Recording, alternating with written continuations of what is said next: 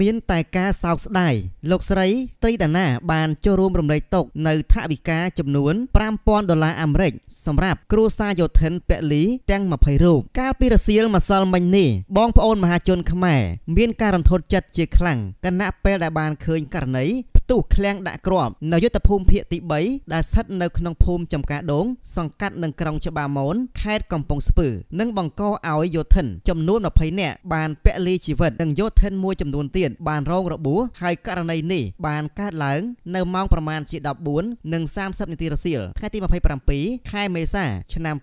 2024គណៈមានគ្រាប់ធុនតូចនិងធុនធំ ផ្ទុះឡើង ជាបន្តបន្ទាប់គ្នាឧបទ្ទវហេតុដ៏សោកសង្រេងនេះបានធ្វើឲ្យបងប្អូនមហាជនខ្មែរបានសម្ដែងនៅសមានតុកដ៏ធំធេងនិងការសោកស្ដាយស្រណោះអាឡោះអាល័យជាទីបំផុតជាមួយនឹងក្រុមគ្រួសារយុធិនពលីព្រោះការបាត់បង់នាយនាយទាហានរង និងពលទាហានឆ្នើមដែលបានពលីកម្មបូជាសាច់ស្រស់ឈាមស្រស់ដើម្បីបបប្រហែតជាតិមាតុភូមិជាទីស្នេហា ពិសេសរួមចំណែកយ៉ាងសកម្មក្នុងការការពារបរណភាពទឹកដីកសាងសន្តិភាពថេរភាពសង្គមនិងរួមសុខរួមទុក្ខជាមួយប្រជាជនកម្ពុជារហូតដល់ថ្ងៃអវសាននៃជីវិតនៅក្នុងឧបទ្ទវហេតុនេះប្រមុខរាជរដ្ឋាភិបាលសម្ដេចធិបតីហ៊ុនម៉ាណែតក៏បានចូលរួមរំលែកនៅមរណទុក្ខយ៉ាងក្រៀមក្រំបំផុតចំពោះក្រុមគ្រួសារយោធិនដែលពលីនិងបានសម្ដែងនៅសមានទុក្ខសោកស្ដាយចំពោះអ្នករងរបួសក្នុងឧបទ្ទវហេតុដ៏សោកសម្រេងនេះជាមួយគ្នានេះសម្ដេចក៏សូមផ្ដល់នៅការឧបត្ថម្ភជាថវិកា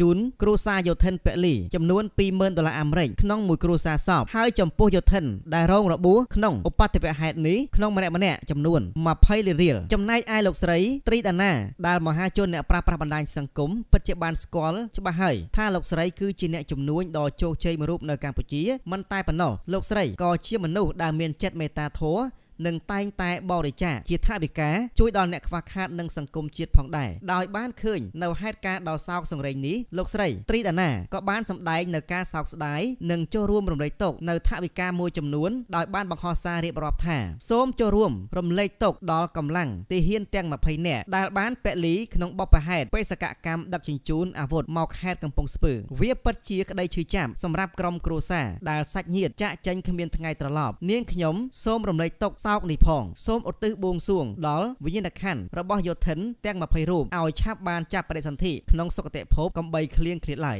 នាងខ្ញុំក៏សូមជូនពរអ្នករងរបួសទាំងអស់ឲ្យឆាប់បានជាសះស្បើយឡើងវិញបន្ថែមលើពីនេះលោកស្រីត្រីដាណាក៏បានចូលរួមរំលែកទុកនៅថវិកាមួយចំនួនដោយលោកស្រីបង្ហោះសារទៀតថានាងខ្ញុំសូមចូលរួមរំលែកទុកនៅថវិកាសរុប5000ដុល្លារអាមេរិកចំពោះគ្រួសារយោធិនពលីទាំង20រូបដោយឃើញពីភាពទុកសោកនៃក្រុមគ្រួសារសាច់ញាតិនាងខ្ញុំគ្មានអ្វីអាចជួយបានក្រៅតែពីសមានចិត្តរំលែកទុកសោកនេះដោយមួយគ្រួសារសពថាវិការ1លានរៀលនាងខ្ញុំសូមបួងសួងវិញ្ញាណក្ខន្ធកងកម្លាំងទាំងអស់បានទៅកាន់ទីសុគតិភពកំបីឃ្លៀងឃ្លាតឡើយ